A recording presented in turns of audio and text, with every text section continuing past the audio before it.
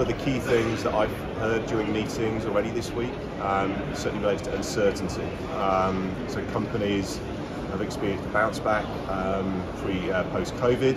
Um, they've really seen that in their order books, and I think that's going to carry a lot of companies through 2023. But the outlook for 2024 much more uncertain.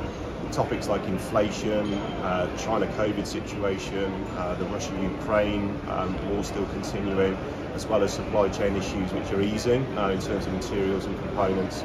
It's still a big issue for companies figuring out as they get into to 2023.